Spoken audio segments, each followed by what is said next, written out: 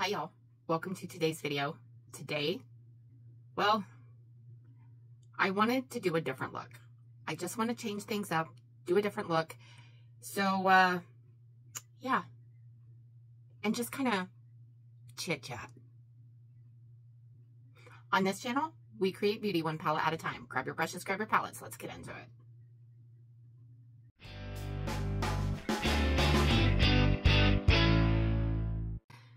But y'all, I wanted to talk to you guys about um, the beauty community. I've heard other creators, I'm not going to name names, but I've heard other creators say, you know, that the beauty community is dying, sales are down, the whole nine yards. And y'all, the sales may be down, but I can honestly say, being in the community, that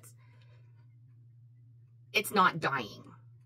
A certain creator stated that nowadays they don't want full coverage foundation. They don't want the full glam look.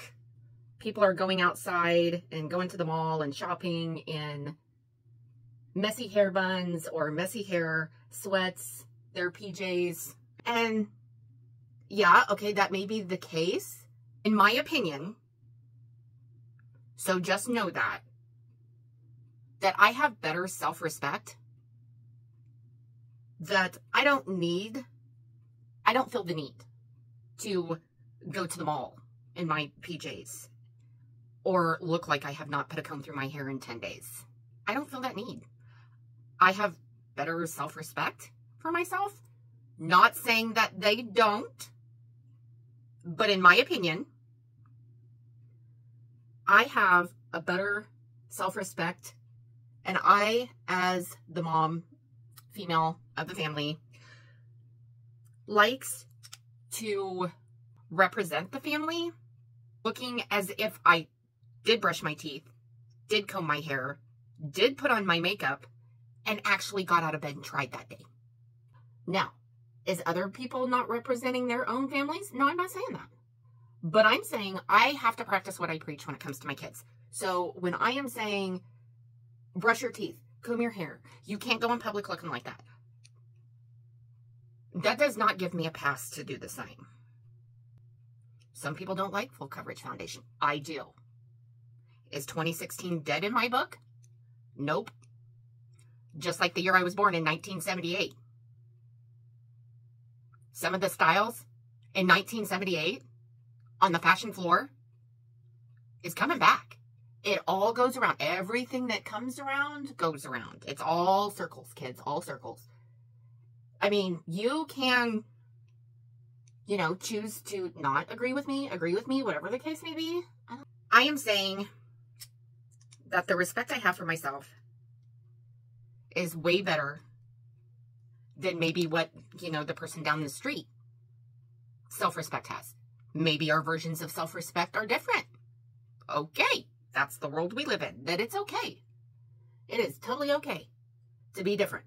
It is totally okay to, I guess, represent yourself as if you rolled out of bed. I choose not to. I choose to at least get up and try. At least give it a shot. With that being said, we all can believe whatever we want to believe. But don't ask 10 years from now, I don't want somebody to come up to me and say, wow, you look different. You look great. You, you put on makeup. That's fantastic. Okay, so 10 years from now, if I went to the mall in a messy bun and a pair of sweats, is that what they're going to say to me later on? 10 years later and say, wow, you actually brushed your hair. Wow, you look fantastic in clothes that actually fit, that don't look like your pajamas. But there is always going to be makeup. There is always going to be fashion. I just think that when creators say that the beauty community is dying, that is basically saying that the ones that love beauty and the ones that are in this niche should just give up. Like, just stop trying some of us out here that are trying to change that. Okay, y'all. Here's the finished look. Like I said, the statements in this video are my opinions and my opinions alone. Be kind in the comments. Y'all like, subscribe, share, click that notification bell down there. It will let you know next time I upload. I hope you guys are having an awesome, amazing day. Go out and do something kind for somebody. I'll see you in my next video. Toodles.